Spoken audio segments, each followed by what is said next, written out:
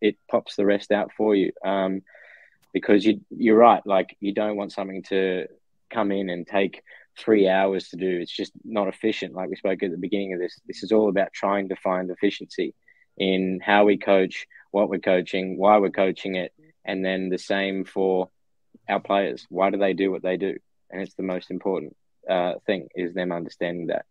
Um, so yeah, for sure. If anyone wants to have a play at this, uh, I know it looks intimidating with the colors, but essentially all you do is type a couple numbers in the white box.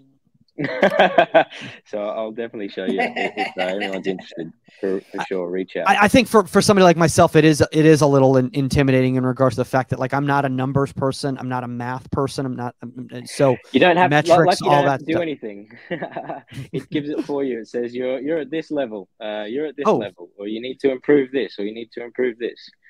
Um, so it does all that for you once you once you put all the information in. But yeah, it's uh, it's definitely it took a long time to build. I won't uh, I won't lie. I, I, I'm, Um, I'm sure. I you know, can and I- imagine. yeah.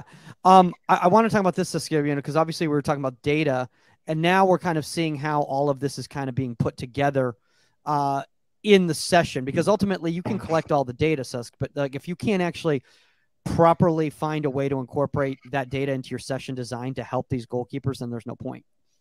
No, absolutely, but isn't that's the goal? you know, the goal of the data is it's it's not to have a pretty spreadsheet.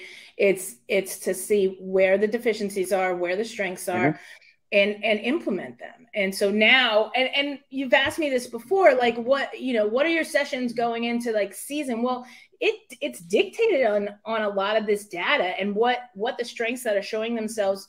You know, for Abby Smith right now, what's going on? Like you know, like like you know is she too far off her line and getting you know or this and and how do i now take this information from the past game or the past three games and really start incorporating that when we have our one-on-one time or when i can set up drills with um, the team to to work on this because at this level you know you're not you're tweaking things you Yeah. know you're tweaking you're tweaking inconsistencies and so so that's what this is used for Yeah.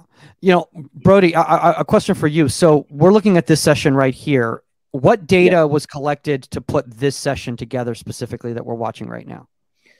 So yeah, this I mean this would have been a session. Um, you know, I, I would have if you go back up to the, or you don't have to go to it, but the the crosses and and key passes uh, slide is what I would have used, um, and video from opponents is what I would have used to to sort of plan the the design for this. Having a look at the different areas that they, you know, take crosses from. Where are they trying to hit their crosses, and where are their second phase um, shots going to come from? Nice. Um, and this is just a just a variation or a fairly simple i think uh, exercise on that. And i think what's important about this is you get a lot of like goalkeeper coaches out there and stuff for your young your keeper makes let's say gets beat in a game okay? That doesn't necessarily mean that next week you have to design all your sessions around the way they got beat in that game. You know what i mean? Like okay like are, do you think that a, they're going to train that ad doesn't get hit off the post in her back and the ball go in the goal? Like it was a fluke goal you know you want to look at like i said inconsistency something that's that's repetitive. You know did i'm just using this did ad mm-hmm. get beat and hit off the post because she isn't covering her near post properly? So go back to your data and see well how many goals have she's given up near post? Or how many like rebounds? Or is she out of position in that? Is that why that happened? That's one way. But just saying i'm good we're going to practice this just because you gave up a goal from it that that's it's not you know productive Uh, you brought up such a great point right there because I'm just thinking about just like from the recruiting process, right? The college recruiting process, and how many coaches, assistant coaches, especially who are not goalkeeper people, will walk by a field, see one action, write in their notebook, and that's the scouting report on that goalkeeper. Oh, And forget like- it. I used to say it on the sideline at UCLA. like Amanda and Amanda and them would look at me and go, What I go, like we train that. Like, you know what I mean? Like I'm like, sorry, that wasn't in like our training scenario, a near ball that hits off the back of your head and goes in the goal. I can try, but like, you know, like, like, sorry, but crap happens, you know. So. But but but I, th- I think the thing is, Brody, is like if, if you're like let's looking, you know, again, you looking, let's say college recruiting type or or youth club stuff, right there. You know, I can't tell you how many times it's the the scouting reports are wrong because of they've only seen the goalkeepers in three showcases. You know, in, in mm-hmm. one in a desert environment, another one in a winter environment, and they may be one... playing yeah. with like the best ECNL scene team, and you're not seeing much. Yeah, yeah, yeah, Or or they're like guesting for another club. They don't even know these players or whatever, and they're like, "Yeah, you know, I saw so and so," and like it seems like this is what they seem to always get caught in this situation or whatever. And it's like, are, are you sure about that, or do you see them week in and week out with their club? And that's why it's so important, I think, for especially young players nowadays, Brody, with to, to have the Hudl, you know, where they can really show their footage consistently, you know, week in and week out to send to college coaches. You know, I'm just using as an example for somebody who's who's watching this who's in that situation. Yeah, video video is massively important, um, as we said, and then like you said, Sask, being able to record those trends like a one off, sometimes a one off goal doesn't matter, but if it's happening, you know, three, four, five, six, seven, but again, someone's got to record that, write it down, make sure that that's what's happening. Um, and and I think you know we just have to take that responsibility, maybe as the coaches or someone's got to build a tool to help us record this easy. Like it's just there's got to be something there for us to, to help this. I think um, in college, so that it's not so reliant on, like you say, someone walking past a one game and saying, "Oh, that's what I think of that goalkeeper 100 percent of the time," and exactly. you've got no idea on what the context is. It's so important to understand context, um, and then and then and then go from there. Yeah. Even, even even on the positive, even on the positive, I can't tell you how many times a goalkeeper has been brought into a camp, and they weren't necessarily right for that camp, because well, I saw them at Disney and they made this amazing top hand save and you know and so I we figured y'all, we need to kill bring this goalkeeper in. And then they come in it's like I don't understand. It's like terrible in possession can't handle crosses or, or but that's a good point. Or you see somebody that's you think's great under in possession but mm-hmm. what's the context is it every team that they you've seen them play against or a couple times there's like low pressure low block, mm. no pressure whatsoever. So they have like, you know, 20 yards to make a nice crisp pass. And then the minute you get them under pressure, they're like hitting, kicking into attacker shins. So, so, so, so question for you, Brody. So let, let's say like when you're acquiring data and a player isn't with you, because obviously you brought in Abby this, this season, you know, as an, as a mm. new goalkeeper at, at the club. And let's just say she had not been getting a lot of minutes uh, you know, in, in the role that she was in, you know, obviously, you know, behind behind Bella. Um, so how do you how do you acquire data on a player that's not playing? That's a really good yeah. Question. I'm hundred percent. I mean, what I had to do, I, I, was we were using Instat at the time, um, and, and to be fair, I, I had to go over a lot of Abby's older clips to get a sense for for who she is and then, I, you know, I'm lucky enough to understand Nadine quite well over in Portland. And so, like, I understand how she works.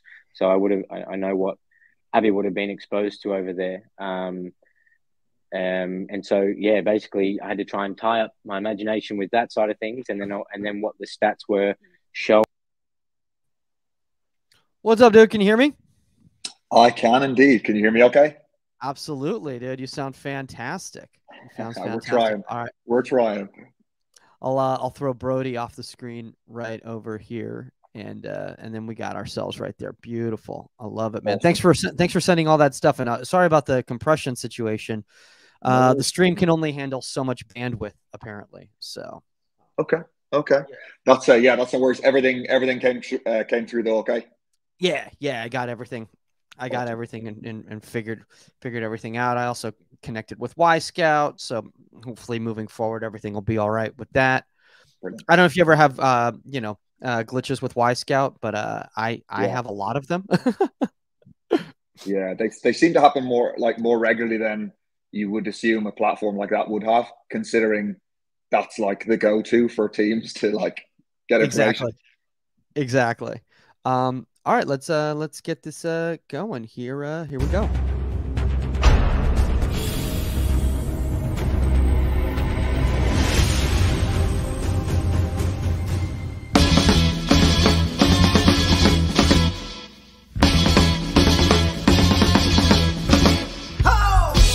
Welcome to Inside the 18. I'm Michael Magid, live from West Hollywood, California. With me, no 99 World Cup winner Saskia Webber because she's too big time over at CBS Paramount Plus, getting ready for those games this weekend. But filling in uh, the, the the illustrious uh, massive shoes of the one and only Saskia Webber. We've got someone pretty darn good. We've got FC Cincinnati to goalkeeper coach Ryan Coulter. Ryan, what is your exact title at FC Cincinnati? Because I know it's a lot more than just the second team goalkeeper coach. Yeah, so second team goalkeeper coach would be the primary role, but kind of uh, jack of all trades, really. Um, I go in, I help out in the academy, I help out with uh, Paul Rogers with the first team as well. So it's uh, it's sort of across the across the full spectrum of of the goalkeeping department, really, first team all the way through. So it keeps me uh, keeps me busy. I mean that that is for sure. I mean, you know, one of the things is is that obviously the last time that you were on this show, you were over at the Houston Dynamo Academy, and uh, Paul Rogers uh, left Houston Dynamo, where he was the first team goalkeeper coach, to become the goalkeeping director over at FC Cincinnati. So why don't you kind of catch up some people on on how that that journey happened for you and, and how you made that decision to, to head over there. Yeah, so I mean, when I first uh, when I first got in contact with Paul, it was in 2018. I actually went in on on the pro camp that he was running down in Houston, um, which they continue to do now, and and which we've even done one ourselves this year at Cincinnati. So, um, kept in touch with Paul over the course of the year while I was with Forward Madison, and um, the end of the season, I went into RGV Toros in a player coaching role. Um, and at the end of the season, the Toros kind of went to, went their separate way from from Houston. So I saw it as a great opportunity to to just kind of now really focus on the coaching side of things. So I moved up to Houston, um, took a job in the academy working alongside uh, Paul Rogers and Jason Grubb. And I think for anyone obviously involved in in goalkeeping to have the opportunity to work alongside two coaches of of, of their stature was a bit of a no brainer for me. Um, so I was there for a year. Um, the year flew by, to be honest, absolutely flew by. Um, lots of laughs over the course of the year for sure, and, and lots of growth as well. So um, Paul got the opportunity to to move to Cincinnati at the end of the year. It was a new opportunity for him, and um, kind of one thing really led to another. Um, a lot of a lot of different bits and pieces happening towards towards the end of that season, and um, yeah, I mean the opportunity arose at, at, at, Cincinnati for me to for me to go and join Paul. And they decided to have a second team very late in, in very late in proceedings. Um, so I mean, I had I had a phone call from Paul like a couple of weeks before preseason started, and I pretty much had to uh, pack my life into the U-Haul and get myself on my on my merry way up to up to Cincinnati. So it's been a it's been a journey and a half really over the last year and what four months. Um, uh, but a, a really really enjoyable you know and, and, speaking of that you know one of the really cool things that i've noticed in regards to that whole whole department that you've built over at fc cincinnati and i don't want to say you know that you st- you all started the goalkeeping department over there but there's been some tremendous growth in the past year since you guys uh, uh took over that that that that um that department over there. But uh, you know, is obviously there's been a lot of movement between the first team, the second team, and the academy. I've, I've noticed a lot of players being signed to homegrown deals. Obviously, everybody knows about Roman's success. You know, moving up to the first team and and really, um, you know, uh, establishing himself as a number one there, and even getting into the national team pool.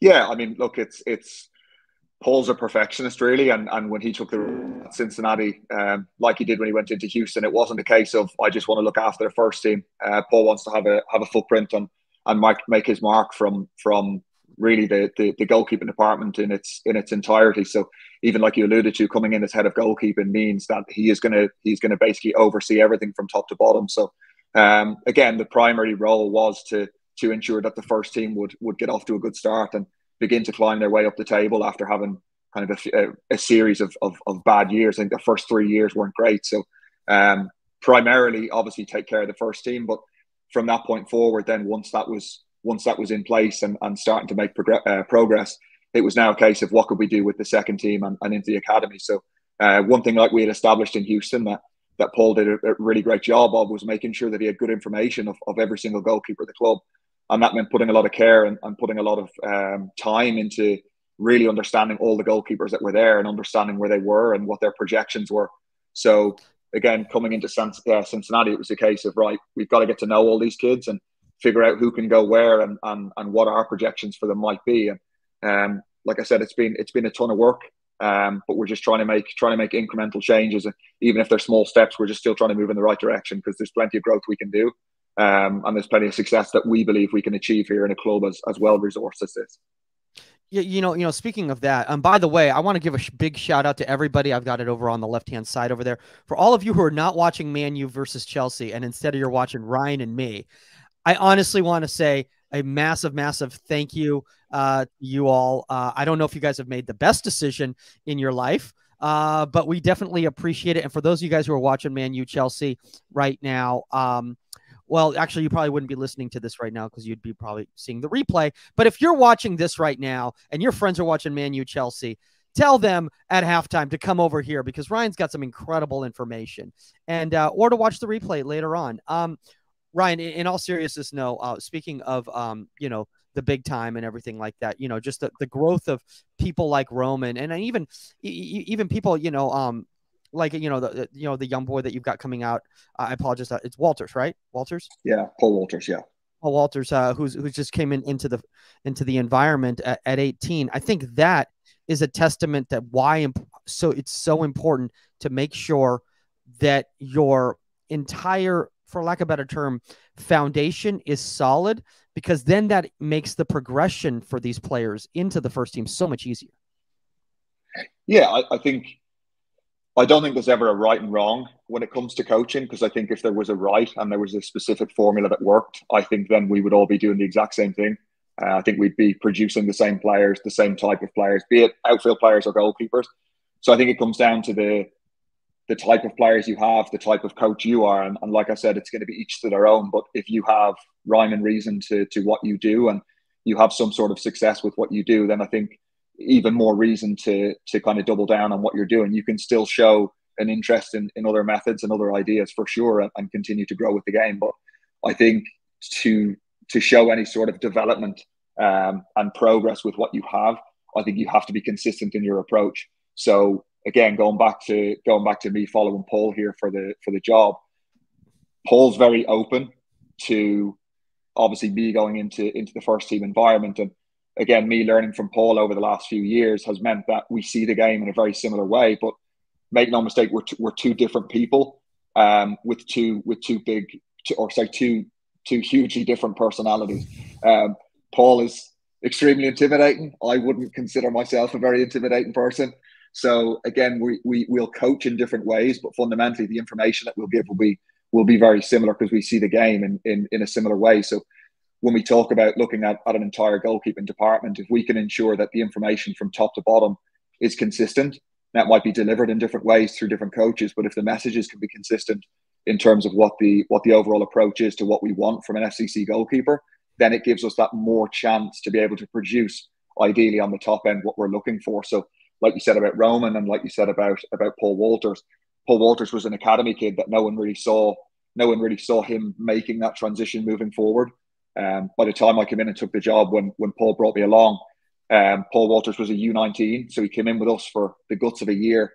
Uh, did one semester off at college, but even in the course of the the seven or eight months he was in with the second team, his steady growth was uh, was incredible. Really, um, we saw him again at the pro camp. He came back in to train, and we started to talk to each other and just said, if he's two years younger than the next crop of, of the best college goalkeepers that we see, why would we not try and pull the trigger on on getting him in, in our full control where we can we can get hands on him every single day? So um, it's been uh, it's been interesting. Paul Paul's a bright Paul's got a bright future ahead of him, and again we've got another young goalkeeper Roman at the club as well, and some experience in in in Evan and Alec. Um, we're we're in a pretty good place.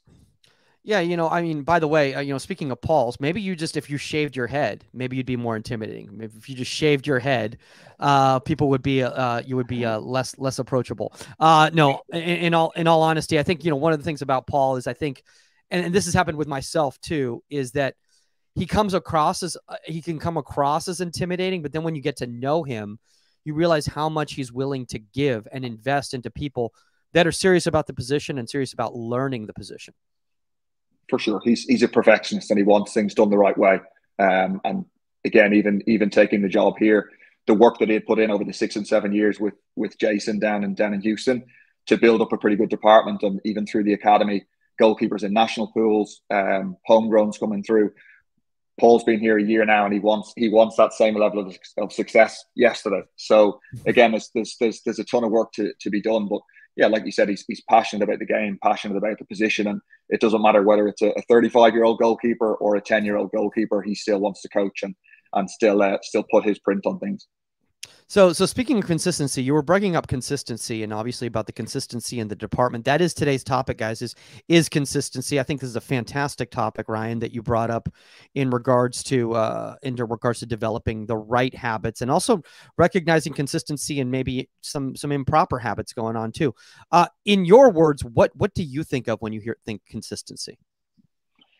So, when I think of consistency, I think that there are habits that we can create in our environment. There's obviously not not not all things are are fully in our control in terms of the external factors.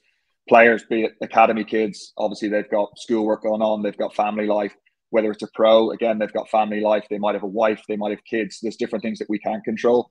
But I think when it comes into once they set foot in the in the building, can we have a consistent approach in terms of what we're trying to do? Otherwise, it can become a bit of a case of throwing throwing stuff against the wall and just hoping something sticks. Um, and it, when it becomes down to, sorry, when we talk about development, I don't think we talk about development over the course of one training session or even a week. You talk about development over a sustained period of time.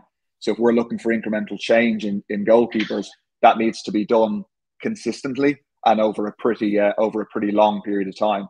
So we've got to have obviously our structure set out to be able to see what we're what we're trying to get at the end of it now whether that's setting up tra- training sessions a certain way, whether it's doing video to be able to reflect on sessions gone by.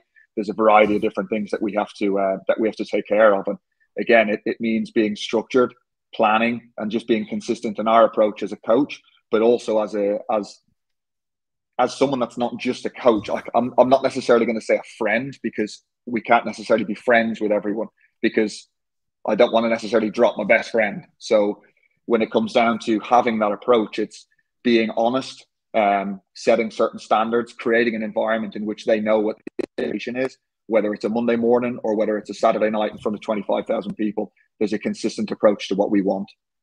Yeah, yeah, you know, I, I want to talk about that, Ryan, really quickly in regards to you know the consistency of, and I love that you've got off-field responsibility and on-field responsibility because I wasn't even thinking about this, but I've been in so many environments, and I'm not going to name names where it hasn't been consistent in regards to the off-field responsibilities as well too. And that can cause for a lot of chaos in an department right? Yeah absolutely. I mean we see the stuff when the when the guys come to the training facility. And as i said i'll talk about first team goalkeepers second team goalkeepers um, and academy goalkeepers. We will see what happens when they come into the building. But if you've got a 35 year old pro with a wife and a newborn child and he comes in and he has a bad training session if you're not aware of what's going on in his personal life or you don't show an interest in, listen, how's your morning going? There's going to be a certain type of training session that happens, and you can be sitting there at the end of the day going, I wonder why they had a bad session. The same thing with a 17 year old kid um, playing in the academy. They're going through a bad run of games. The easy thing to say is, oh, they're they're they're in bad form. They're whatever else. They're not performing well. Well, that could that kid could be in the middle of finals. He could be in the middle of a heap load of assignments that have built up because he's doing online school he doesn't know how to deal with it. He's away from home. He's away from the comfort of his friends and family. And yet we're going to just try and treat them as a robot that you've got to perform today. You've got to perform. I mean, I think at the end of the day, no kid or no kid or goalkeeper is going to show up to training saying, you know what, I'll have a bad day today, but they're going to happen. But if we can have a better understanding of why, there can be a bit more of an understanding of, okay, well, maybe we've got to, you know, we've got to maybe give him a little time or, or have a little chat with him just to let him hit a hard reset and then we go again for the session. You can waste reps, but you don't want to waste sessions. Yeah, no, I mean that, that's a great point right there. I mean, I'm even just thinking about the fact that like, you know, everyone's got inner life going on in regards to like their prior circumstances before they walk in. For instance, I had four business meetings for the union before we started this podcast, so I'm all over the place. Uh, you wouldn't know that unless you talked to me and and had that uh, uh that conversation, you know, prior. So maybe we should have done that. Maybe Ryan, you should have approached me earlier and been like, "Hey, Michael, are you good to do this podcast right now? Do you need to reschedule? Uh, was that meeting a little bit too much? Uh, do you need a 10 minutes to uh, grab some food? Because I haven't had lunch yet because I'm a little bit, uh, what, what, what to say, lightheaded right now. And Manchester United and Chelsea are playing on to the left of me right now. So I need to turn that TV off. Anyway, uh, moving on. Uh, guys, you can check me out, michaelmagidcomedy.com. This is a disaster. Anyway, let's move on here. Let's talk about this consistency right here um, in the coaching because I think this is massively, massively important. Ryan, I personally have made the mistake of not being consistent in my coaching. And the reason is is because of prior life going on. And I think a lot of us as coaches, I don't know how you feel, we need to compartmentalize what we have going on in our lives once we get to the field because if we bring that to the field, it's going to affect our young goalkeepers. Yeah, look, rightly or wrongly, I think as a as a coach, you're not really in a position where you can't show up at, at, at any given point. And whether that's show up on the on the end of the phone, show up in a training session or show up at halftime giving information to the goalkeeper or showing up at the end of the game to talk to the goalkeeper if if if they are the type of goalkeeper that needs that needs a conversation. Again it's knowing the individual. I don't know if the goalkeeper needs needs some words after having a bad performance if i don't know the goalkeeper. So that's that's the thing. Some goalkeepers might have a bad game and say i don't want to see anyone. I want to go home. I want to shout at the dog shout at my missus and come training on tuesday and, and and just get after it that's some people. Some people might have might finish the game and go, I, I really just need some words, just just so I can be able to close the chapter here and move on and, and, and have a fresh week. So again, the consistency is massive, and, and it, it's it's knowing your goalkeepers and knowing what they're like. Um, but again, as a coach, while we're just talking about players there that again have external factors, yeah, we do as well, right? I might get back, I might have a bad night's sleep, I might be sick, I might be whatever else. But if I come in all doom and gloom into the training environment, and I'm trying to create something upbeat to produce good actions on, on a day and, and produce an environment conducive to learning and growth. If I come back in and I'm not 100%, there's no way in hell I can expect the goalkeepers to commit at 100%. So you've got to set the you've got to set the tone, you've got to set the environment, you've got to set the set the standard from from the moment you walk in, whether that's having the session preset. So the goalkeepers are walking out going, okay, this means business. I'm not walking out and seeing someone throw a few cones down here and there because that just looks a bit unprepared. I'm not saying you can't have a, a good session that way at all. It's different coaches do things different ways, but I'd like to feel that the more prepared I am, the more structured the environment is, the goalkeepers know, okay, it's business. We're coming out to train. Everything's set up. He's kept up his end of the bargain by having things organized and structured. We now are stepping into an environment that I need to do the same thing. So Ryan, I, I, think I, it's just important. I, I want to step in really quickly right here because you just brought up a massive point. I want any young coaches out there who are dealing in, in, and a lot, a lot of you deal at youth clubs, independent clubs. You know, you don't have the Major League Soccer, MLS Next type situation where an environment is, is set up for you. Um, what advice do you give to like young coaches out there? Because i think one of the problems we have at, at, the at the youth club level and the independent clubs is a lack of consistency in the environment. You know today they're on field three. Tomorrow you have six yards over there. Uh, the next day uh, you're gonna have to go to this other park because we've got this scrimmage going on right there. So how can they deal with that and still keep it consistent? I think it comes down to again, it's easy for me to say, "Oh, you need to do this, this, this, or this," because I'm in an environment where you've got kit men running all over the place, getting you equipment. You've got whatever equipment you need. But I also look back to the fact that it was only a couple of years ago when I was a goalkeeper coach at, you know, UCF, and I was coaching at a at a local club as well with a similar kind of setup. So I look and you don't know what the number of goalkeepers you're getting, you don't know what pitch you're going to be on, you don't know how much time you have. So I just think about session design, and I'm like, if I can ensure that I have a simple training session which allows me to produce certain coaching points and hit certain topics and certain areas that are going to be beneficial to the goalkeepers, that's going to be more important than me planning on setting this intricate training session with balls moving all over the place and different equipment everywhere. Because it's far easier for something complex to go wrong than it is for something simple to go wrong. Less is more. Less is more. Now there might be days where you can set up something more complex when you know specifically what you have, your time frame and everything else. But I think when there's variables up in the air, when it comes to coaching, I think we've got to strip back and say, okay, less is more. If I just need a couple of discs and, and I'm good to go, maybe that's the session I stick with if I don't know what the session looks like. Um, here's something that, and I love what you just said right there because that I think that'll ease a lot of young coaches out there because I think they get that deer in the headlights type of situation because they go, "Oh, I prepared for this, and now I'm I'm dealing with this type of a thing." And I, have seen so many young coaches think that they have to overcomplicate things in order to look good, quote unquote, to the to the to the directors of the club to make them think that they know what they're doing. uh, when in reality the game is simple. And and speaking of that, the pathway is also simple if you've set up a solid foundation, right? Yeah, for sure. So again, when we look at it, we look at the FCC philosophy and the game model. So I think when you when you take a job, be it in a in a youth club, um, an ECNL team, whatever it might be, an MLS academy, an MLS next team, whatever it might be, I think the first thing is to try and understand well what the club is about. What way do the club see the game? Because my opinion is only my opinion. At the end of the day, I'm part of a far bigger, far bigger picture. I'm, you know, I'm, I'm, I'm lower in the pecking order, so I need to have a better understanding of what's above me and what I'm trying to produce higher up that ladder. So having a good understanding of, again, this this this would involve having numerous conversations with Paul about okay, well, what are we looking for in in an FCC goalkeeper? Because yes, I can go into the academy, I can work with a 17 year old, I can work with a 16 year old, but what do we want out of the 13 year old? So how can we set the 13 year old up for success? What 13 year old are we looking to bring into the club? Because a 13 year old at our club might be something totally different at a different club, but that can be the case if we know what we're looking for. Um, again, the positional references, that's going to be stuff that we talk about uh, club wide in terms of taking up penetrative positions. Um, obviously, the middle grid there, when you look at that recycle type position, is generally it's going to be harder to play more penetrative, um, higher value passes from that area because you're still somewhat deeper in the box when you think about younger goalkeepers as well, um, at the age of say 15 or below, they're not physically capable enough to hit those longer passes. So the higher that they can stay uh, involved in the in, in the game, now if they're playing a pass from the 18 or higher, now that little flicked ball all of a sudden is over the halfway line and it's in beyond the back four. As opposed to if they sit in a reset area, it's going to be very difficult to play penetrating passes, and it's also going to be uh, extremely difficult to look beyond.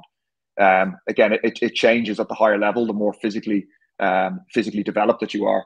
But again, as much as possible, staying involved in the build is going to be important.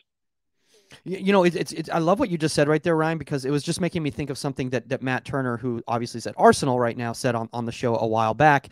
And he said the fact is that is that regardless of the level that you're playing at, if you keep those skill sets consistent as you advance, as you mature physically as well too, you're going to eventually be successful. So don't be concerned about the fact that you're failing at the foundational level with these certain skill sets because at some point it's going to click and it's going to happen. And if you get frustrated and stop doing it because it's not successful, just so that you try to win games 9, 10, 11, in the long run, it's going to be detrimental to your development.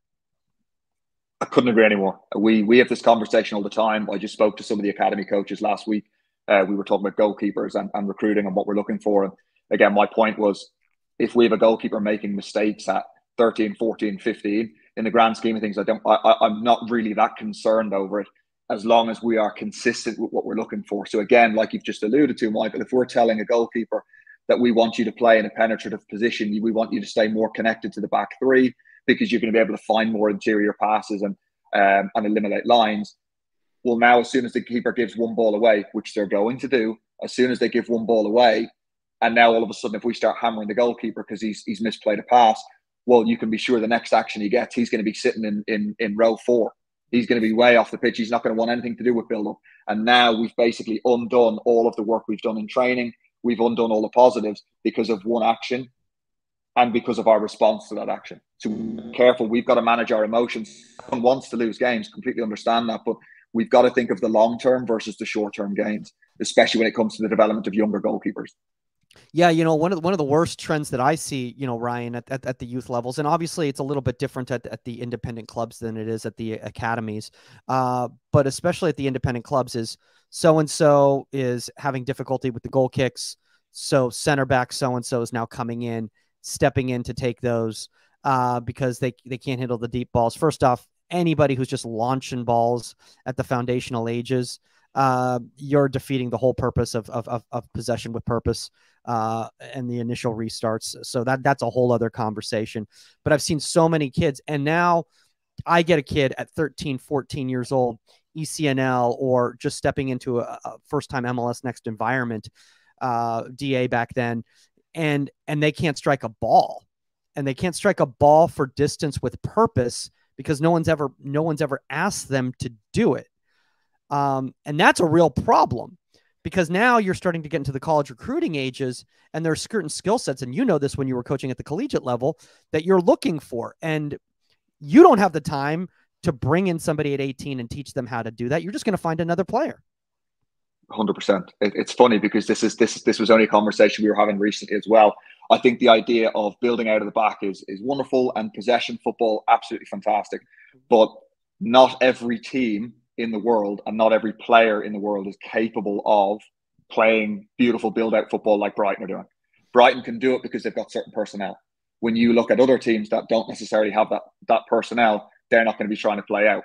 We could even be funny with it and say everyone talks about Stoke City on a Tuesday night. Are Stoke City going to be trying to get the ball down and and, and tiki taka their way out of the back? I don't necessarily think so. Um, we were talking about these goalkeepers in in the Premier League and Championship that go out on loan to lower league teams. So when you think about playing conference football, again, by and large, it's going to be quite a physical, direct league. But when you get these uh, Premier League goalkeepers that have come through academies and, and playing in Premier League settings where they are trying to build out, the issue is they go out and play, playing loan, playing six, seven, eight, nine, ten games. They come home early because they've got quad strains and hip flexor issues because they've never been used to so many balls over distance. So it's a lost art. We we all admire Ederson because of his ability to play beyond and to be able to play real high value penetrative passes, even even over lines. So if we admire that, we're hypocritical in one way. Um, we're hypocritical in one way because we we admire how beautiful that is, and yet we go back into our environments and we're saying, no, you got to get it down, you got to get it down, you got to get down and play. So how is that 13 year old kid that's in the environment where he's told to play short every day? How is he ever going to have the ability or even the wherewithal or tactical understanding to notice where and when I can play those longer passes? Again, it's it's it's you're just hoping at some point that it's going to be able to happen. But it's it's it's a trainable skill set, and it's a trainable skill set that we have to look at, much the same as taking crosses. If we don't work on goalkeepers taking crosses, then the chances of them being successful at taking crosses when they turn 18, turn 19, turn 20 is going to be extremely small. I mean, I'll, I'll be honest with you, you, even right now, Ryan, is, is that one of my, one of the deficiencies in my own personal game is my long play. And the reason is, is because I, I never got enough consistent reps and saw the pictures properly.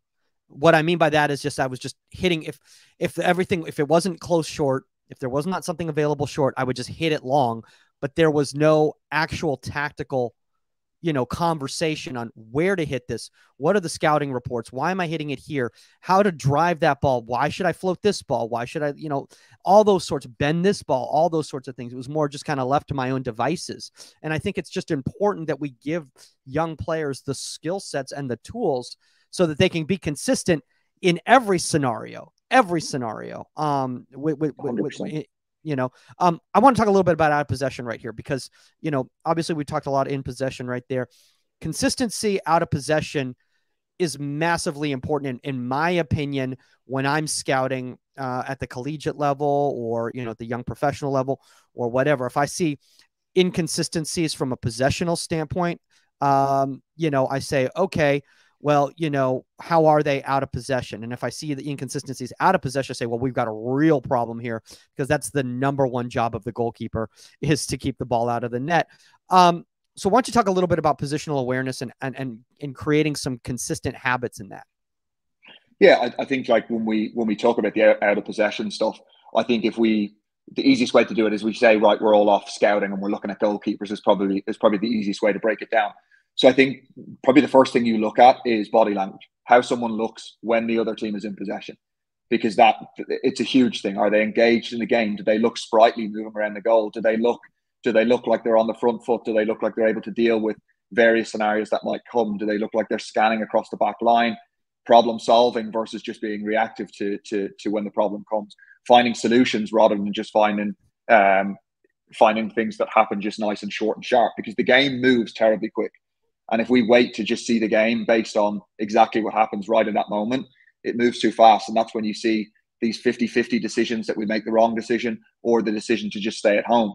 So when we talk about out of possession, again, it's it's it's having a good understanding of A, where the ball is, B, what the pressure is on the ball. So we can get caught up in looking at where the goalkeeper is and where the back line is and just say, okay, he looks like he's connected with the back line. But again, the game is all centered around the ball. So where is the ball at any given moment? Where is the back line? And now where's the goalkeeper?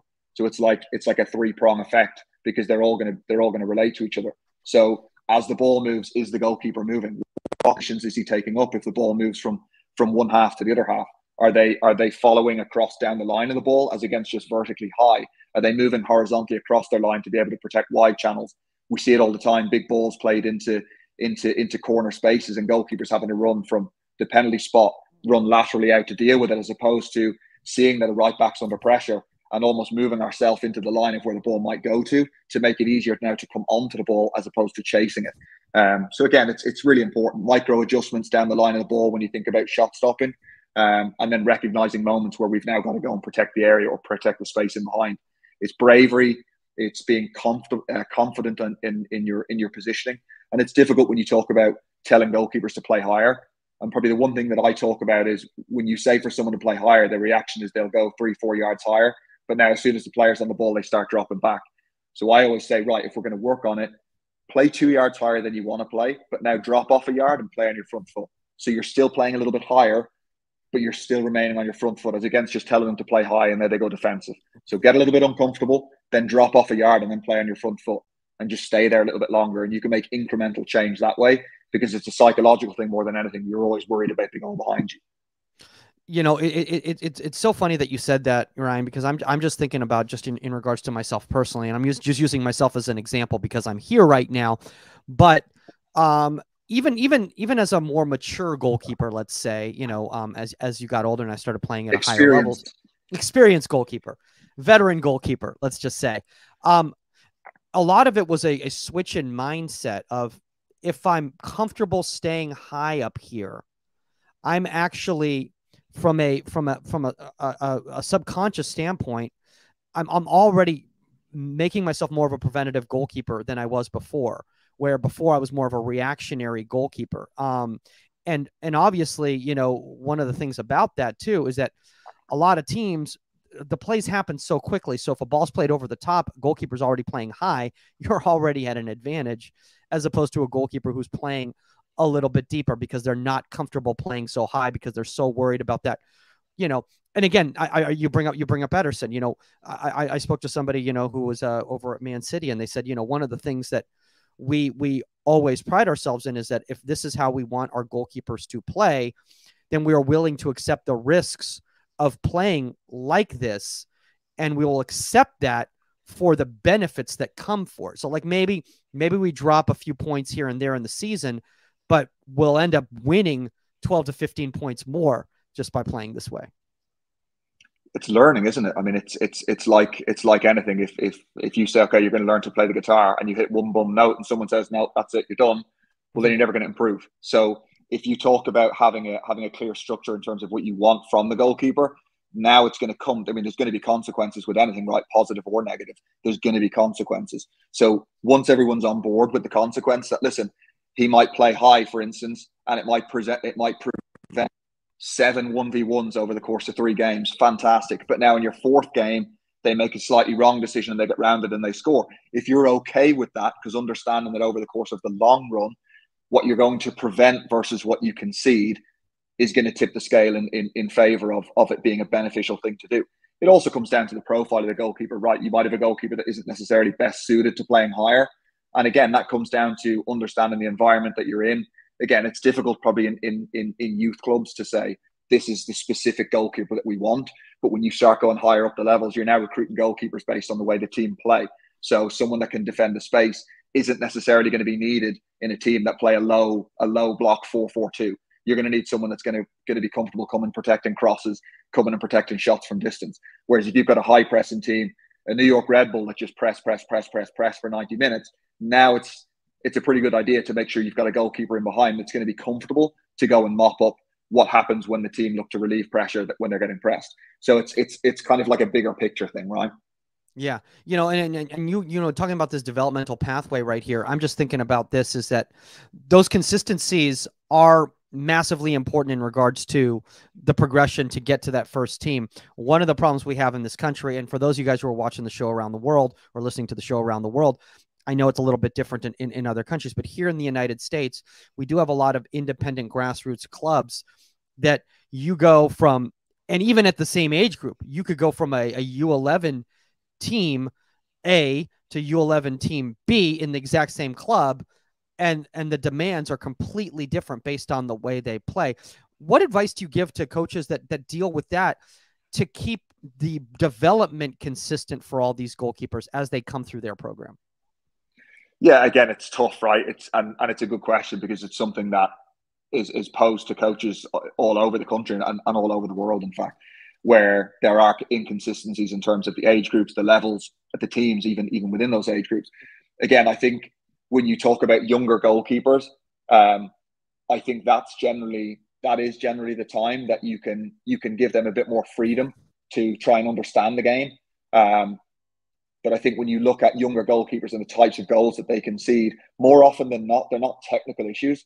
Most of the time, it comes down to tactical issues, like we've just alluded to, positioning, decision making, and everything else. Oh, keeper was beaten at the near post again. You're also going to be dealing with ignorance of of of head coaches and coaches that aren't necessarily tuned in to actually having a better understanding of what goalkeeping's about.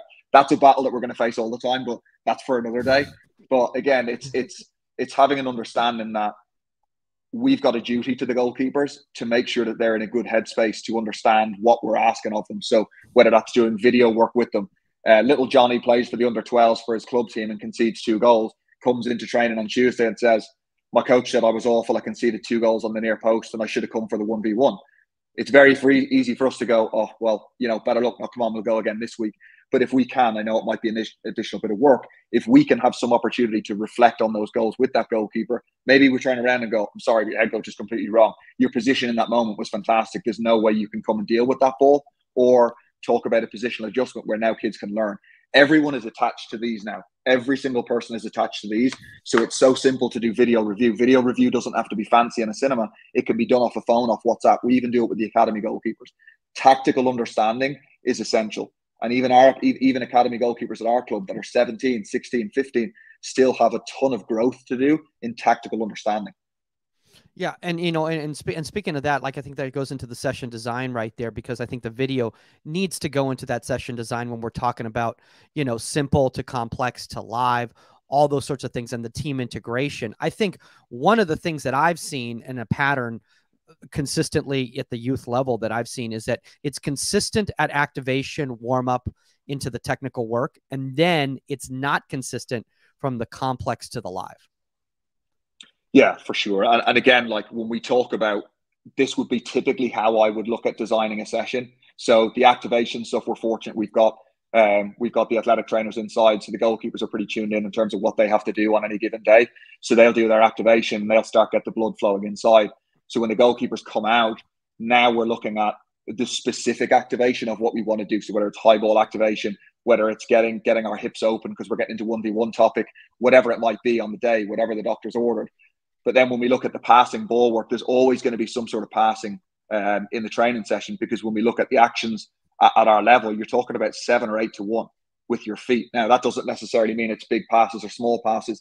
But over the course of the week, we need to see a pretty good variety of stuff with our feet because not that not that we're saying that we're a build out team, but we're a team that the goalkeeper ends up with the ball seven to eight times for one with his hands. So it is essential that we make sure that they're going to be somewhat comfortable on the ball.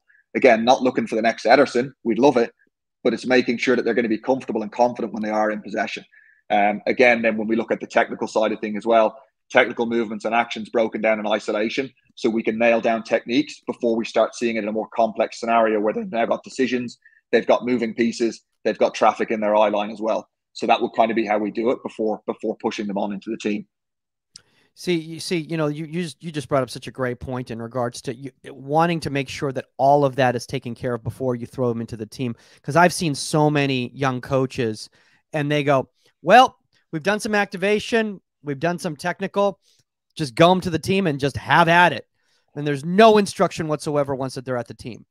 And a lot of it, Ryan, and again, you know, I understand that these environments are challenging when you're at these independent clubs because you got the 18s are over there and the six, sevens are over there and the 14s are over there. And it's difficult for you to walk around to all these different fields.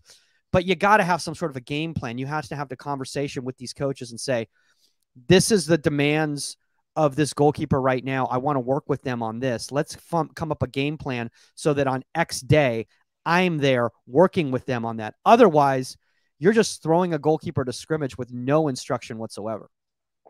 For sure. And, and a big piece of it, Michael, is we we talk about ourselves being goalkeeper coaches. Absolutely.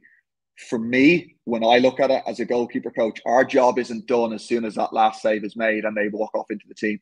Because, like we've just been speaking about, so much of it comes down to decision making, positioning, feedback.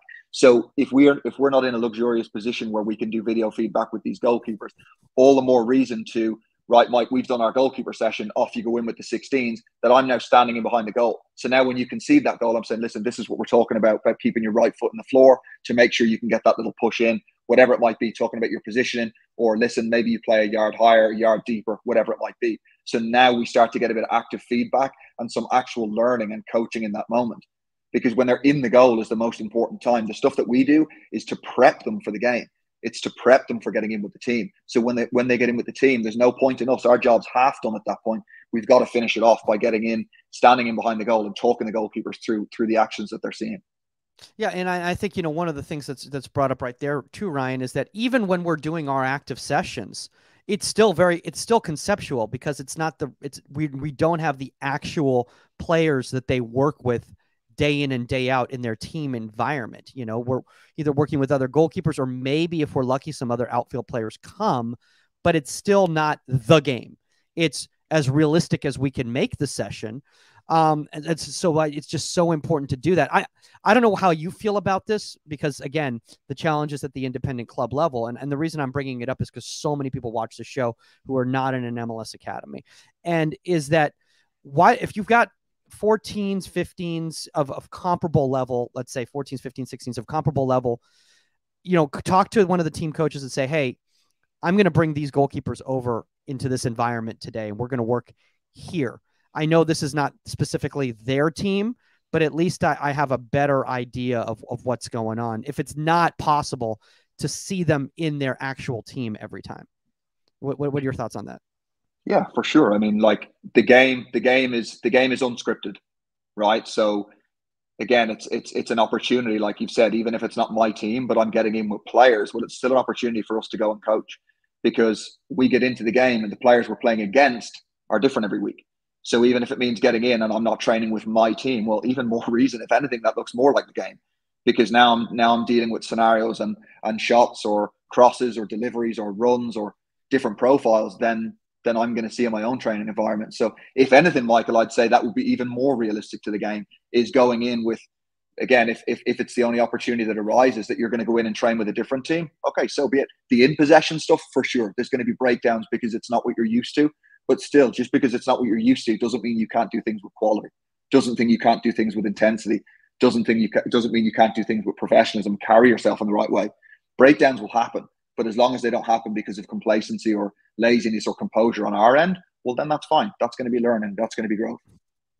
Yeah, and I think I think that's really important is is to put that in regards to from the consistent learning process, and that we can put that within our own behaviors as coaches, is that mistakes are going to happen and goals will be scored. I think it's actually something that Paul uh, Rogers, you know, said to me. He says he says goals will be scored, so you you can't you you can't try to make sure that goals will never be scored because that's not realistic. You need to understand how to do the best that you can do to prevent goals and to be the best supporter that you can for your team.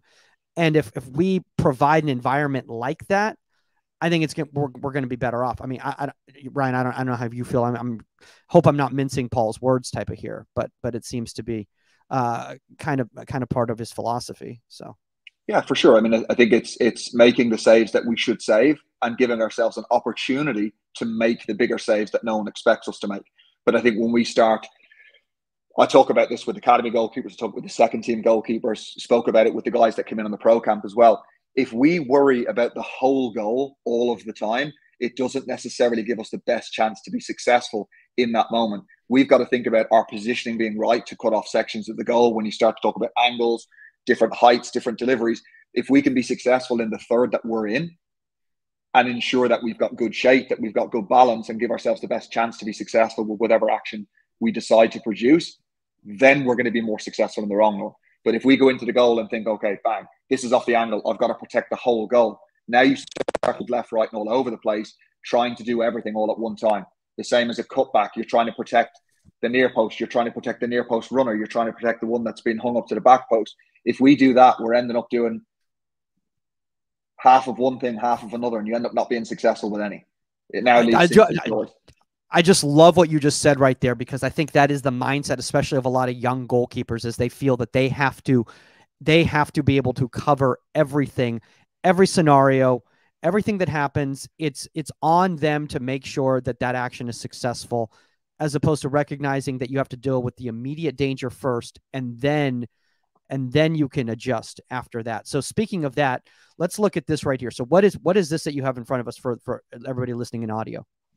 So for me, it's it's how I map things out. And again, a lot of people talk about the resources that that that you know that we have, uh, and we're fortunate to have at a higher level. For sure, we have. I can print things off off Y Wyscout. I've I've got ability to go onto StatsBomb and get whatever I want. But for me, I like spending time putting this together on Keynote. So this is all done by eye. What it allows me to do is take time to be able to really look at each action and where things are coming from, as against just clicking print on a computer and not really maybe digesting things properly. I can now have a, a finer look at trends that we start to see. I mean, I think for everyone, we'll we'll we'll pretty much agree that the majority of chances in this game were in a pretty central area, right? They're in either the first six, the second six, or in and around the penalty spot. So straight away, we're looking at actions that are going to be central and pretty tight to the goal. Then when we actually look at where they're going in the goal, now you start to think, okay, a lot of them central, a lot of them just off center, not really a great deal in top corners or big flying saves. So that's not to say, again, this is where this is where analysis becomes really important because some people can go either way with it. This is what that specific game looked like. So I can say, okay, that's what that game looked like.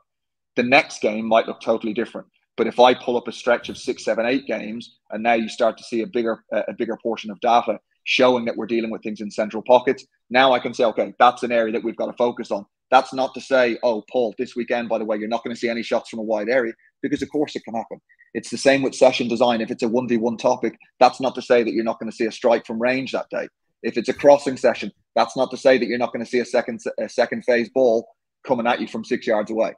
So again, when we look at again this breaking down now into the area defending, so just to give me an idea of where the crosses are coming from, and I like to map them out in terms of where opposition contact is coming from, where the team defending is coming from, where crosses are getting just eluded that they're just going out of play, or where the goalkeeper's taking up range.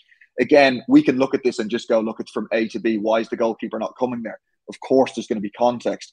This might be where our whole back line defensively from from from the delivery have come right in on top of the goalkeeper. The goalkeeper may not have the opportunity to come and deal with the cross. So again, it's having a better understanding of what this map looks like in context. Context is key when it comes to session design, when it comes to analysis, when it comes to reviewing, because anyone can look at a page and go, why is the goalkeeper not taking those two in the six yard box? They might be balls that were zipped on the ground. They're not necessarily hanging into the six yard box. So they might be early crosses that have got shaped into that area. So these are all the things that we only know with our bigger portion of information. See, I love how you brought that up, Ryan, because you know I can't tell you how many times I've had you know directors you know show heat maps you know, or team coaches, you know, for uh, from a club team and go, here's the heat map from uh, from from Man City Showcase, and uh, let's let's let's take a look at his. So obviously he's getting scored on a lot here and here, and he's making saves over here, here, here. So you need to work on making sure that he doesn't get scored on from here. I'm like, okay, well, what happened? He's like, well, I don't know. I mean, I, I am not exactly sure, but I know that he kept getting scored on over there. I'm like, well, that doesn't help me in regards to building a session to to deal with this, and, and I think it's so important that all of these pieces are put together in order to find that consistent, getting back to that topic right there, consistent picture of the trends that we're seeing over and over again. I see too many times, Ryan, especially at the younger ages, coaches being forced to work on something that was an outlier because that's what the coach brought up to them and said, Hey, so and so got scored on on the near post and blah, blah, blah. Okay, well, how often does that happen? Go, well, you know, it happened this weekend at Surf. Okay, cool. How did it happen before? He's like, I don't know, maybe. Okay, well that then then again, that's not helpful to me. You know, so how can these team coaches give productive information to these coaches?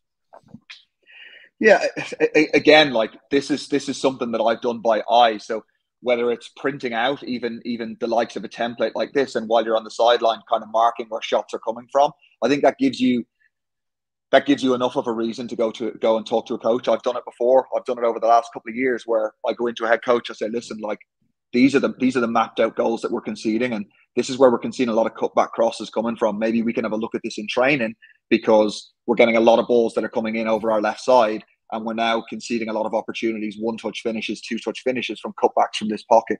Maybe that's something we can address with the team and look over in video. And they're like, okay, brilliant. Coaches have so much to deal with that if we come in and we're wishy washy in terms of what we want or what we think we want, sometimes we can get pushed away. It's understanding where we're at, what our voice is, and when our voice should be heard. But now recognizing the moment that, okay, I have a window to say something, I need to come in with something pretty concrete as opposed to going, um, yeah, Michael, this weekend, you know, just if you have a minute, I thought that, you know, maybe this happened or we could have done this. That's just a nonsensical answer, as opposed to saying, listen, Michael, I've watched the game back. The goals that we conceded, they're coming in from that wide pocket. Defensively, we need to get someone coming in on that near post pocket because it's not a ball that the goalkeeper can deal with.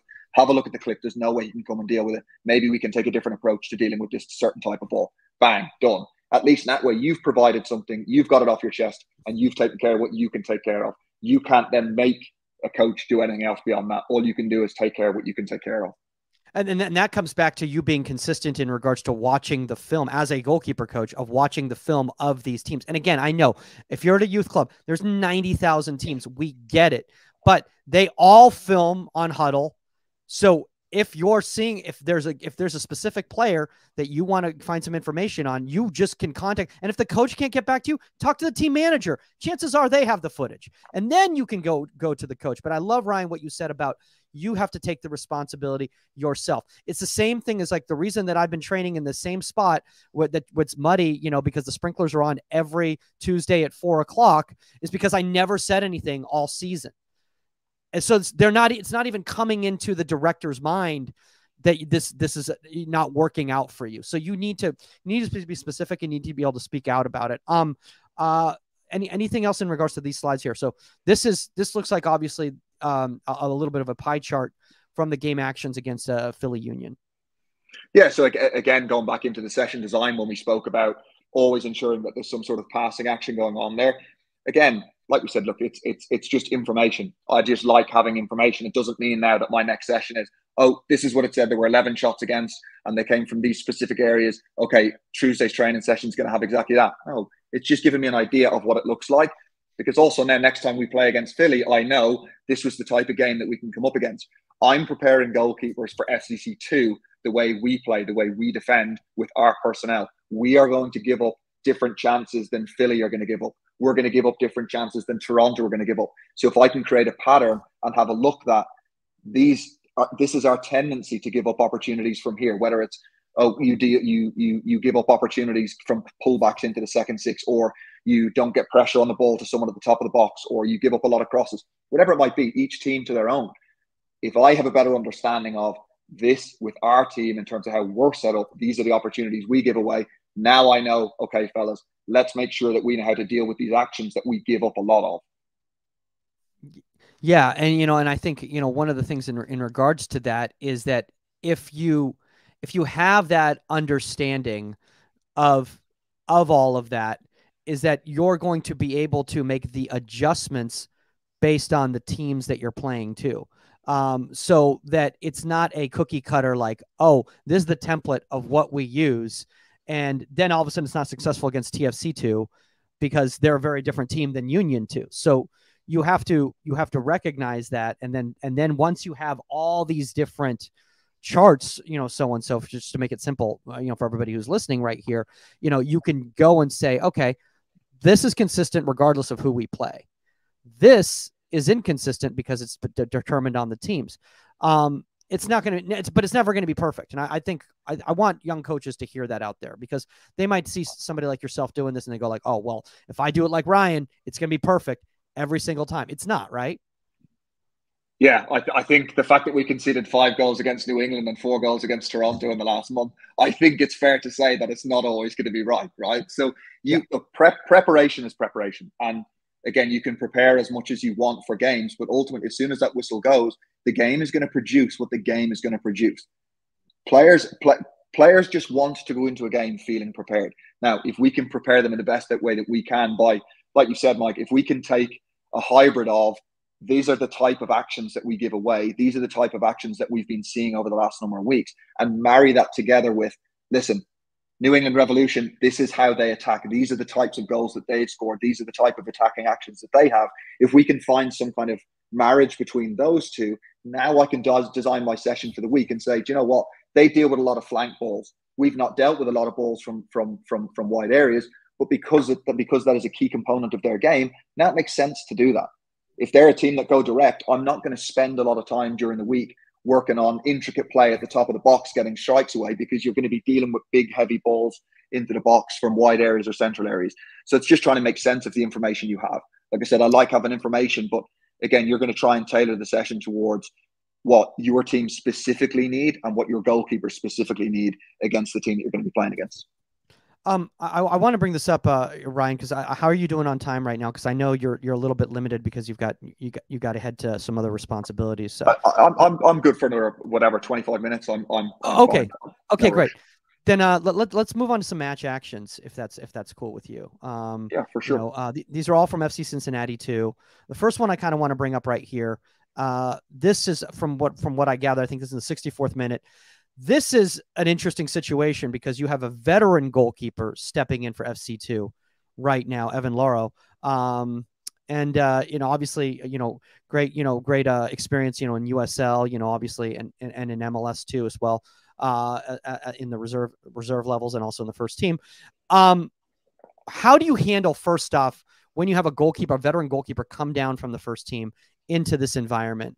and and and and, and the coaching aspect of this from from the games? Honestly, he makes it easy. Okay.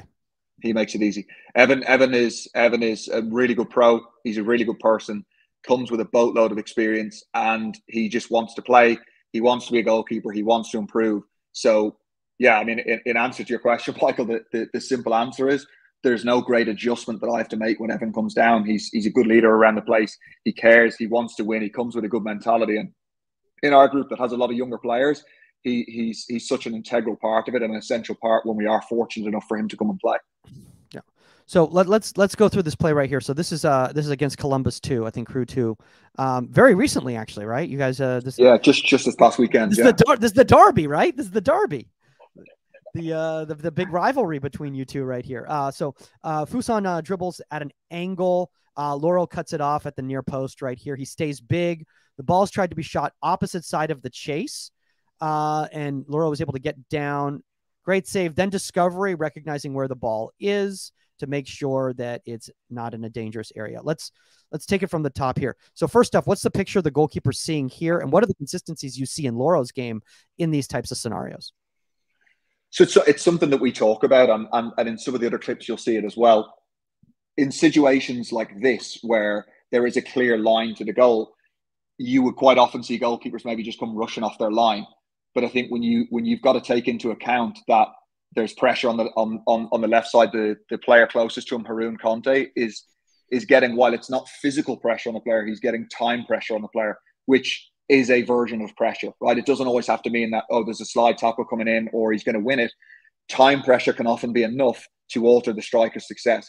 So if Evan comes rushing off the line, he gives himself less time. And now the finish doesn't need to be as good. All he needs to do is just literally poke it by Evan and the ball can end up in the middle of the goal. So Evan does a really good job of just coming into line versus down the line when he doesn't need to the, the the acute angle of the strike means that if Evan just holds good shape there, it's going to take a pretty good finish to come back across, especially with Haroon coming and cutting off that off that backside. So if Evan just stands and holds good shape, now he can get a good hand on it. He keeps his weight forward. He drives that right hand to the ball. And if you notice his left hand, it joins the party. It doesn't just hang out by itself.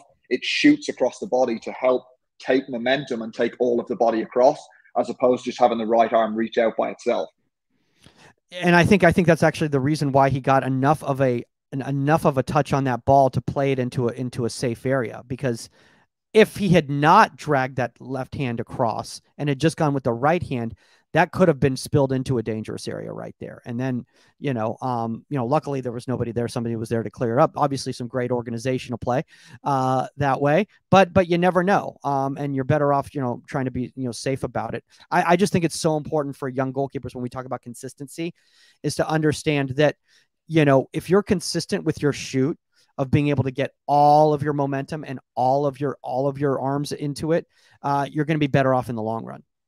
Yeah, so we, we talk about. I mean, Paul Paul is is is is a real technician when it comes to goalkeeping. So we talk about shape, we talk about catching the ball. These these these these skills and arts in goalkeeping that seem to be seem to be lost in terms of just wanting to actually catch the ball. So Evan's shape right on the strike. He's got his shoulders and, and, and hands in front of the knees. He's nice and balanced on his feet that even if Fuson was to was to zip it into the near post pocket, Evan's still light enough on his feet that he can use his left foot to cover that pocket. Even if it comes across his body low on the floor, his right foot is still engaged enough but light enough that he can now kick his right foot out to make that save as well. His hands are out in front of the body line. So now he gives himself room to operate with hands as opposed to being behind, where now he's going to be forced to go with one. The fact that his hands are out in front of the hip line means that that left hand can shoot across. Not necessarily that it's going to be a two handed save, but it's enough to allow the back shoulder to attack it to send that heavy part of my body over into line with the ball and stay strong. Again, his eyes follow the ball as well. It's a, it's a good save. See, I think I think you just brought up a really good point right there, Ryan, because I, I hear so many young goalkeepers go, yeah, but you know, uh, I I but the, you know, I only was able to get one hand over to the blah blah blah to the ball. You know, why would I have the other hand go across? And you just have to explain body shape and momentum, and that yes, not every save you're going to get two hands to the ball. However, making sure that you have that trailing arm is going to allow your momentum so that you can make that save with the outside arm. Yeah, for sure, for sure. You see it all the time, right? People just want to go one one armed for a save, but if the, if the if, if I'm diving out to my left hand side and my right arm just stays behind, I have less reach. And then if you think about that right arm just kind of doing that windmill over the top, again, it's it's slowing me down. If anything, so Paul uh, Paul references it all the time. Is his reference to that backhand attacking would be shooting it under the chin. My reference to it would be would be attacking the ball with your back shoulder to make sure that everything is coming across in, in, into line with the ball. Even if I'm only going with one, I can go two to one. It's a lot easier to go two to one as against one to then two, realizing, oh, all of a sudden I can catch it. Now you won't catch it.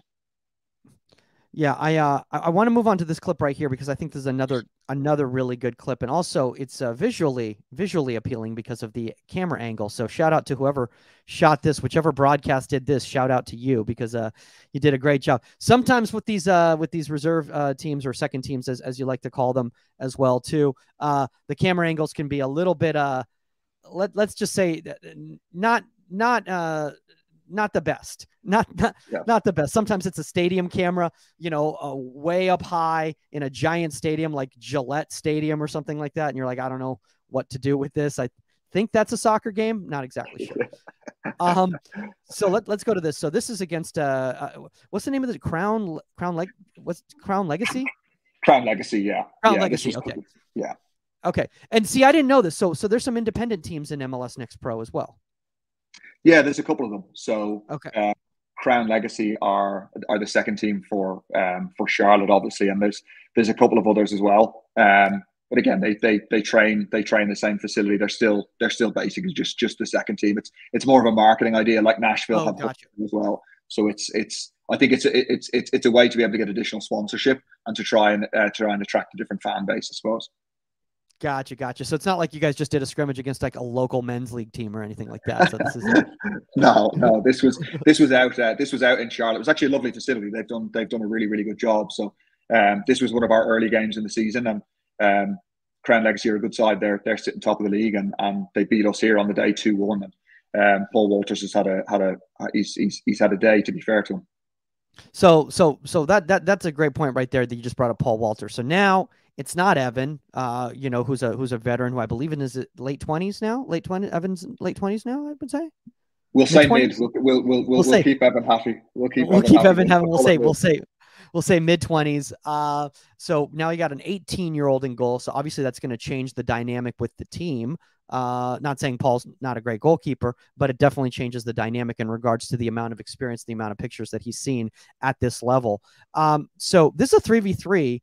Ball's played across the goal by Cambridge. Um, and uh, Walters kind of comes out. He covers that space. It's like a fast approach, then that slow arrival. Um, and he holds and he kick saves on. Is that I, Agiema? Is that is that the name of the player? Agiema? I, I believe so. Yeah, I believe yeah. so. He's very very good as well. Very very good on the day.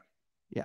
So let, let's let's start from the very beginning right here. So first off, this scenario right here, uh, the three v three. What is Paul seeing, and and what are the consistencies you see in his game in these types of scenarios? Yeah, so it's it's a big topic of conversation for us with Paul because again he is a young goalkeeper and and, and we're trying to kind of get a get a stamp on on what we're looking for out of him. Um, so again, the height that you play away from the goal is, is going to be an important piece of it as well. But right now in this situation, there's a few things that he's got to got to be able to address. Isaiah would be the closest player to him, um, closest player to the 36. So Paul has to stay in an area to a deal with the strike from the 36. If the 36 was to take an additional touch and strike with his left, Paul has to stay in a position to be able to deal with shot stopping primarily. But he's also got to be in, in, in enough of a position to deal with should that ball get slipped into the into the player at the rightmost side of the screen. So there's quite a little bit going on just out of the screen. Obviously, on the left side is where that third runner comes from. So Paul's looking at three different scenarios. There could be a strike from the 36. There could be a slotted ball here on this near side, or there could be that ball played onto the other side and you can't play everything. So he's got to deal with what would appear to be the most dangerous one at that given point, which would be if 36 takes an additional touch inside, he can now strike. So that's why Paul has to stay set in that position that he does. Again, as soon as that ball's played, now there's no pressure on the ball and it's quite close to the frame of the goal. So it's unlike Evans one. This is now coming down the coming down the heart of the goal. The player's already the other side of Joey. At that point, if Paul stays on his line, I mean, you're a sitting duck at that point. So the percentages would be well and truly stacked in favour of, of the Crown Legacy player to score. So we talk about it. If the percentages aren't stacked in your favour, what can we do to grab a couple more percent back in our pocket? So Paul recognises, okay, he's taken a touch. Now I've got the opportunity to use to use my big body to now get something out in front of the player, and he does a really good job of getting into the floor early enough so he doesn't leave big pockets of space on the ground underneath. So where the player looks to slot it underneath, if Paul tries to be a bit more aggressive and take one more, now that pocket of space is under Paul. So he makes an outstanding save. His his chest stays square to the game. He's still got good use of his right arm. He's still got use of his left arm, and he stays with his head square as well on the strike, which is which is an outstanding save at, at a really critical moment in the game too.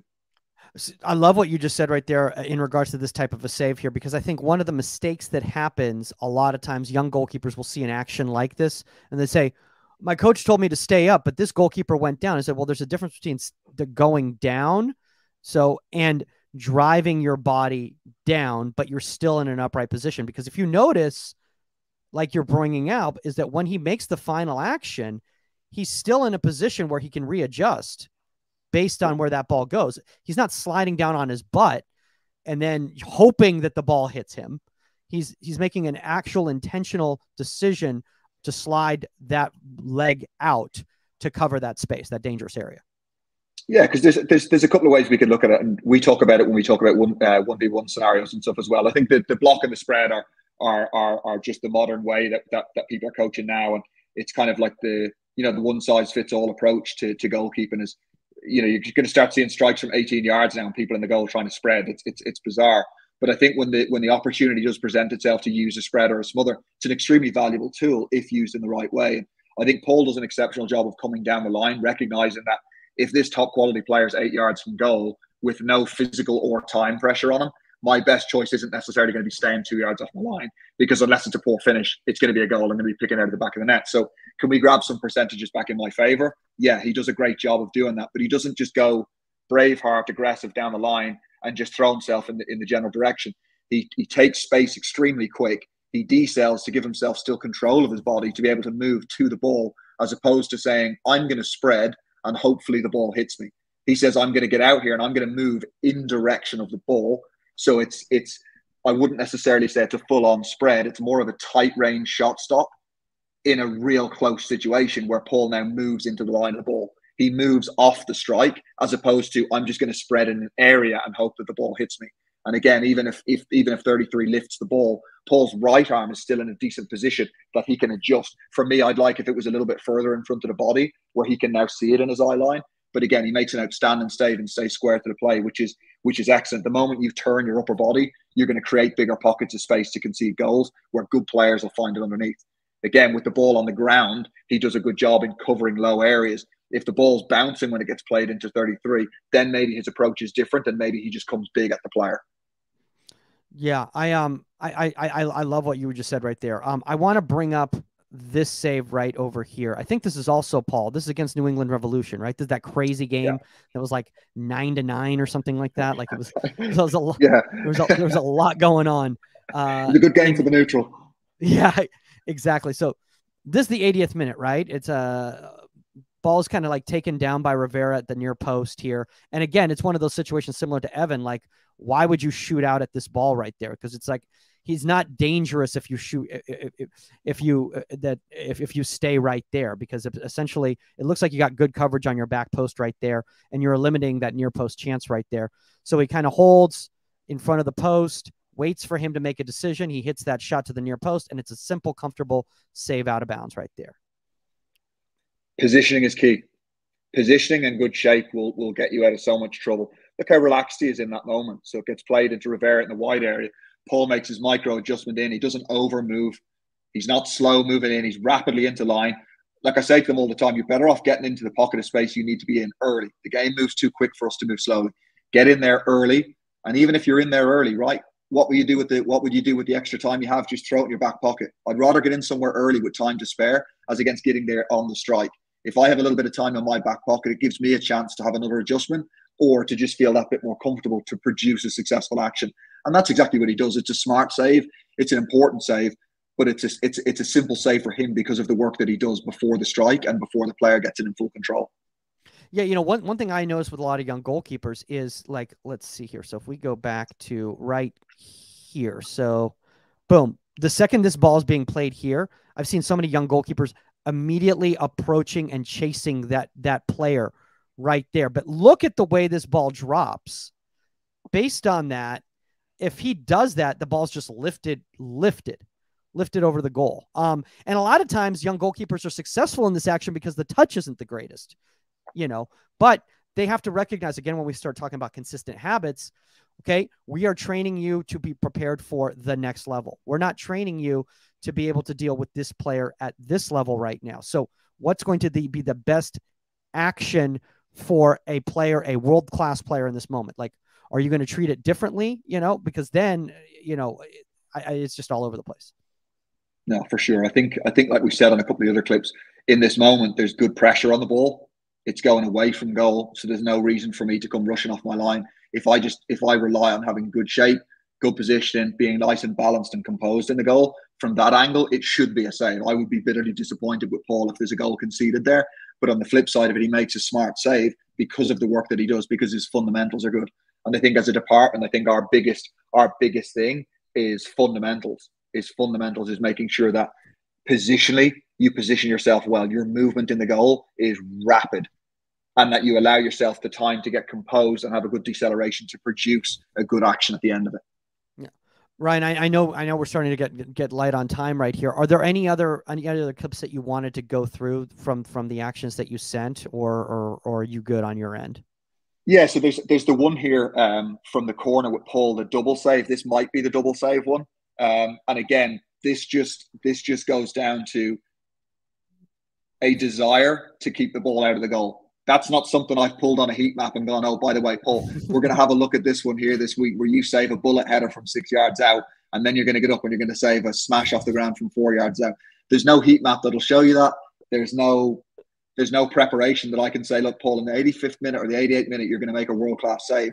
But what it comes down to are consistent habits. When we train, once he realizes he's not coming for the cross, the speed of his movement into the line of the ball, rather than just tracking the ball, he figures out where the danger is coming from, where the contact is coming from. I can find the line of the ball in my peripheral vision, but if I can find the cross is coming in, it's coming in Michael's head, I'm better off finding Michael and now tracking the ball in my peripheral so now I can see when the contact comes in as against just tracking the ball. And now I'm still moving when you change your run and get contact on the ball.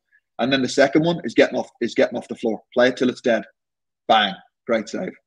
It's a yeah. desire to keep the ball out of the goal, Michael. And I think it's it's it's an under under undervalued, underappreciated um, aspect of goalkeeping, which quite often when you think about a goalkeeper, even if they choose the wrong action or the wrong technique or whatever else, if they go with full bravery and they go with a desire to keep the ball out of the goal, sometimes your wrong decision can be negated because of your bravery, your aggression, and your pure 100% desire to keep the ball out of the goal. Not all of the time, But at, at a certain level, you will get away with making the wrong decision, but sticking with your guns and showing a desire to keep the ball out of the goal. I, I love what you just said right there. I mean, I, I just can't even tell you, just even just using myself as an example, the the times that I give a hundred and ten percent on a mistake mistaken action to recover. Like maybe maybe 20% of the time I, it ends up becoming successful and as opposed to just assuming that it's dead and there's nothing i can do about it. Um, i want a lot of young goalkeepers to hear that out there. Um, because again like you said goals are going to be scored but it is your job to do everything in your power to prevent that ball from getting in the net in that moment right there. Um, especially in today's culture ryan I, I think there's there's a definitely a uh, I don't want I don't want to say that there's a there, there's a, a trend of young players, you know, uh, putting the blame on somebody else for uh, for the goal getting scored. But but I, I've definitely seen it where a goalkeeper could have done more, and because of their insecurity, they don't want to admit that to their team, and so they just go, oh well, if so and so had been in blah blah blah. Yeah, well, you know, again, you can't control what they do other than giving giving some feedback and giving some communication but you can control what you can do in those actions. 100%. Look, Paul makes a world class save off the header. I'm, I'm happy enough with the first save that he makes. But if he doesn't get off the floor to deal with the bits and pieces of the secondary one, we walk away having lost that game pretty late on. Mm-hmm. As opposed to Paul makes a great save rather than looking around saying, oh, well, he's not marked and he's not helping. He says, right, I've made one great save. Have a little bit of that. Right. There's plenty more where that came from. And he gets up and he says, no, it's not happening. I've conceded enough today. I'm going to have this. This one's for me, and I'm going to make. I'm going to make a great save again because I have a desire and a belief that I'm going to keep the ball out of the goal because it's instilled in me on a day-to-day basis, on a weekly basis, uh, basis, and on a monthly basis. I'm not going to allow the ball go into the goal easily. So that's why he gets up and he makes an outstanding second save. That doesn't come down to, oh, Paul, I told you to use that technique. It comes down to the environment that Paul Rogers creates, the environment that I like to hold them standard with as well. That you you never give up on any ball. We can always talk about it after the fact, but let's not give up something because of a lack of trying or a lack of belief or a lack of desire. You might have seen Roman save this weekend in the in the 92nd minute against Columbus. Same thing. It's not a textbook save. He shows an unbelievable desire to scramble across the goal and to keep it out of the goal, which ultimately wins the team three points and they sit on top of the MLS. They're the game changing moments you can have a match defining moment through bravery, through aggression, and having a desire to keep the ball out of the goal. I love it, man. And, and, and by providing that consistency in your environment, you create those types of moments uh, because you develop those types of goalkeepers. Uh, Ryan, this has been amazing, man. This is this has been awesome. Um, for those of you guys uh, who want to reach out, it is a contact at Goalkeeper Podcast on the Union for a guest topic or a topic suggestion. I mean, a guest or a topic suggestion. Man, I really need to get lunch right now. My head is uh, a little loopy right now. Uh, speaking of the union, if you're not on the union yet, guys, uh, it is a place to engage with top uh, uh coaches and players from all around the world uh, for free. Start getting on that. We are going to be starting to offer a premium service as well too, with some top names that you're going to be able to do breakdown sessions with, and uh, some other types of really cool activities, some exclusive content from them, only available on the union. Uh Ryan, I believe you're on the union. What is your union handle? My union handle is going to be Coulter GK1. Um, I'm going to start getting quite active on that now as well, posting posting content uh, several times a week. Uh, there's no shortage of the content. Uh, again, like I've said earlier, I think context is going to be key. So if anyone has any questions over anything that I post, whether you like it, think it's weird, think it's wonderful, whatever it might be, I'm always open to engage it in discussions about goalkeeping. Um, yeah, just a bit of a goalkeeper nerd. So any questions anyone has on anything that I ever post, honestly, feel free to just reach out. I love it, guys. I love it, guys. And, and shout out to all you guys who've been engaging on the union and been posting your own original content as well in the forum. Uh, again, it's not just the big guys like Ryan here. Uh, we want to we want to learn from everybody. So even if you're a grassroots coach or a grassroots player, you know there, there's something we can all learn from each other. And I think that collaboration, that collaborative community, is really uh, is, is really what's going to keep uh, improving goalkeeping culture here, uh, and not just in the United States but worldwide. Uh, I think well, you know, I, I shout out to all the guys. I think someone recently just joined from Ethiopia, Belarus, all over the world. And, and I, I really love to see that because I don't know a lot about Ethiopian goalkeeping. I don't know a lot about Belarusian goalkeeping. I'd love to learn what they what they're doing out there. So that's that's uh, pretty awesome. Uh, all right, guys, I'm gonna make some lunch. That's all the time on Inside the 18, and we are out. Later, guys.